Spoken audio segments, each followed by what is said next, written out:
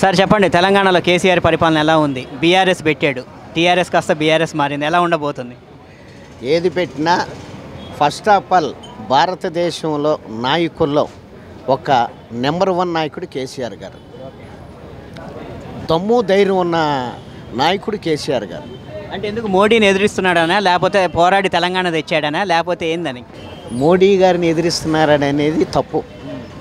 ఒక ఉద్యమాన్ని అట్టడుగున పడిపోయిన ఉద్యమాన్ని తీసుకొచ్చి రాష్ట్రాన్ని తీసుకొచ్చినటువంటి ఏకైక వ్యక్తి చంద్రశేఖర్ గారు. ఆయన్ని నిజంగా అభినందించాలి. ప్రతి నాయకుడు కూడా ఈ విషయంలో అభినందించాలి. ఇక పరిపాలన అంటావా?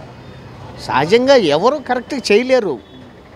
ఏ నాయకుడు నేను చేశానని గుండెల మీద చేసుకుని చెప్పమను. నాకు నలభై ఏళ్ళ రాజకీయ అనుభవం ఉంది. సిపిఐఎం ఎనభై నుంచి ఎనభై ఐదు ఐదు సంవత్సరాలు కమ్యూనిస్ట్ పార్టీలో తిరిగా. ఏ నాయకుడు చేయలేడు. కాకపోతే వీళ్ళు పాలన పడగొట్టి వీళ్ళు ఎక్కలని ఇవన్నీ ఇక పేపర్లు మీరేమో ఇదే సమయం టపా టపా కొట్టి వేస్తూ ఉంటారు ఇక. అది విషయం. అన్ని పార్టీలు కూడా ఏది కరెక్ట్ చేయలేదు. అది ఈయన చేయగలిగిన వరకు చేస్తున్నాడు. తెలంగాణ వచ్చిన తర్వాత అంతకుముందు తెలంగాణకి ఇప్పుడున్న తెలంగాణకి ఏమైనా తేడా కనిపించిందా రోడ్లు నెంబర్ వన్ బ్రిడ్జిలు. చంద్రబాబు గారు పునదేశిన వాటిని అమలు చేయాలిగా? ఎటు వెళ్ళినా కానీ షార్ట్ కట్లు వెళ్ళిపోతున్నాం. ఇది నాకు బాగా నచ్చింది. ఇంకా- సంక్షేమ పథకాలు ఎలా ఉన్నాయి? ఇక అవన్నీ నేను చెప్పలేను ఆయన చేయగలిగిన వరకు చేస్తున్నాడు. ఈ విషయంలో మాత్రం కేసీఆర్ గారిని అభినందిస్తాను తెలంగాణలో నీళ్ళు నిధులు నియామకాలు అనే ఒక నినాదాలతో మనము తెలంగాణ ఉద్యమం స్టార్ట్ చేసాం సాధించుకున్నాం. మరి ఇవాళ నీళ్ళు నిధులు నియామకాలు పూర్తయ్యాయి అనుకోవచ్చా? తీసుకొస్తున్నాడు కదా నీళ్ళు కొన్ని వేల ఎకరాలకి సాగునిచ్చాడు కదా. అవునా కాదా? మరి? నిధులు? నిధులు కానీ నీళ్ళు కానీ తనకు చేతనైనంత వరకులో తీసుకొస్తున్నాడు చేస్తున్నాడు. చేయట్లేదు అనేది మాత్రం అది తెలంగాణలో కేసీఆర్ ప్రభుత్వం మీద ఉన్న పెద్ద మచ్చ ఏంటంటే నిరుద్యోగులకు ఉద్యోగ అవకాశాలు కల్పించట్లేదు ఉపాధి కల్పించట్లేదని. ఆఖరికి ఉస్మానియా యూనివర్సిటీలో కూడా గొడవలు ప్రారంభమయ్యే దశలో ఉంది ఇప్పుడు. దీన్ని మీరు ఎలా చూస్తున్నారు? ఈ ఉద్యమాలన్నీ ఇవన్నీ ఇవన్నీ సహజంగానే కొన్ని కొన్ని నాయకులు మాట్లాడేటప్పుడు నిజంగా తొందరపడి అనేస్తారో మరి రాజకీయమో తెలియదు కానీ తెలంగాణ వస్తే నేను దళితుడిని సీఎం అని చేస్తానన్నాడు చేశాడా? అది పొరపాటే కదా. నాయకుడిగా దమ్మున్న నాయకుడైన భారతదేశంలో నాయకుల్లో అని నేను అభినందించాను ఈ విషయంలో అట్లాగే అనుకున్నాయని చేయలేరు ఏ నాయకుడైనా. కానీ ఒక్కసారైనా ఇప్పుడు రెండోసారి వెళ్తున్నాడు. ఒక్కసారైనా ఒక ఆరు నెలలు కనుక దళితుడికి ఇచ్చి ఉంటే అంటే కేసీఆర్ అదే మాట విలేకరులు అడిగినప్పుడు ఏం చెప్పాడంటే నేను దళితుడిని సీఎం చేస్తానా? చేయలేదు. కానీ రెండోసారి ఎలక్షన్ పోయినప్పుడు దాన్ని దాన్ని దృష్టిలో పెట్టుకొని నన్ను ఓడించాలి కదా ఓడించలేదు అంటే వాళ్ళు నన్ను తెలంగాణ ప్రజలు నన్ను సీఎంగా కోరుకుంటున్నారు. దళితుడు కాదు అని చెప్పి ఆయన చెప్పడం జరిగింది. దీన్ని మీరు ఎలా చూస్తారు? నెంబర్ వన్ మాట బాగా చెప్పారు మీరు. రెండోసారి నన్ను గెలిపించారు. రెండోసారి ఇస్తాడేమో అని అభిమానంతో గెలిపించారు. నువ్వు ఇవ్వలేదే. ఇవ్వాలి. వివేకానంద గారు ఏమన్నాడు? ఆడిన మా వివేకవంతమైన కలిగిన వ్యక్తి ఆడిన మాట తప్పరాదు అన్నాడు. మరి రాజకీయాల్లో ఇది తప్పినట్టే కదా. నాయనా ఇవ్వాలి. మరి ఇవాళ మోడీ మీద ఎదురు తిరగడం కానీ తర్వాత మోడీకి సంబంధించిన విషయాలు గట్టిగా మాట్లాడడం కానీ చేస్తున్నాడు. ఇది ఒక పొలిటికల్ డ్రామా అనుకోవచ్చా? లేకపోతే నిజంగానే ఫైట్ చేస్తున్నాడు అనుకో రాజకీయాల్లో సహజంగా ఎదురుకిస్తారు. అనుకూలంగా ఉంటే వాళ్ళు వెనకాలే తిరుగుతారు ఇవన్నీ మనకు తెలియనివి కాదు. ఏది ఏమైనా ఏ పార్టీ అనే వాళ్ళు పని చేస్తేనే ఉంటారు. లేదని అంటే పక్క పంపిస్తారు ప్రజలు. ఇప్పుడు తెలంగాణలో వచ్చే ఎలక్షన్స్లో ఏ పార్టీ ప్రభావం ఎంత ఉంటుంది ఎవరు అధికారంలోకి రావు ఇప్పుడు వచ్చే ఎలక్షన్లో ఫలానా వ్యక్తి వస్తాడు అనేది చెప్పలేము. ఎందుకనంటే మొన్న జరిగిన ఎలక్షన్ కానీ అంతకుముందు ఉప ఎన్నికలు కానీ చూస్తే పోటాపోటీగా అంతకుముందు బీజేపీ వచ్చింది. ఇప్పుడేమో మొన్న టీఆర్ఎస్ పెద్ద ఓట్లేం కాదు పదివేలు అంటే. ఇది చూసుకుంటే పోటాపోటీగా ఉంటుంది. ఎవరు వస్తారు అని ఆ నాయకులే చెప్పలేరు. మనం పబ్లిక్గా ఉన్న మనమే కాదు.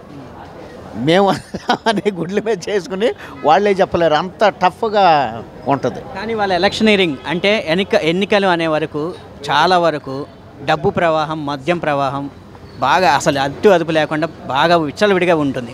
దీన్ని కట్టడి చేయాల్సిన అవసరం ఎంతవరకైనా ఉంది. కానీ ఇవాళ ఏ పార్టీ దగ్గర ఎక్కువ డబ్బులు ఉంటే ఆ పార్టీ గెలిచే పరిస్థితి ఉంది మరి ఇది ఎన్ని రోజులు కొనసాగుతుంది కట్టడి చేయటం అనేది కళ. ఒకవేళ మేము చేస్తామని అంటే అది అమాయకుడు అన్న అవ్వాలి లేదంటే మూర్ఖుడు అన్న అవ్వాలి.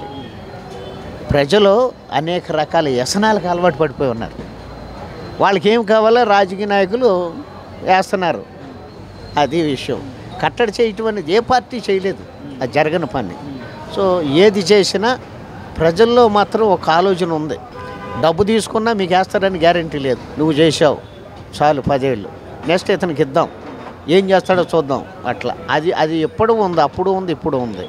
నువ్వు అధికారం ఉన్నా డబ్బు ఇచ్చినా నీకు వేస్తారని లేదు. మీకు నలభై ఏళ్ళ రాజకీయ అనుభవం ఉందంటున్నారు. జాతీయ రాజకీయాలు కూడా మీరు మొదటి నుంచి చూసుకుంటూ వచ్చారు. ఇప్పుడు కేసీఆర్ జాతీయ రాజకీయాల్లో పోయినాడు.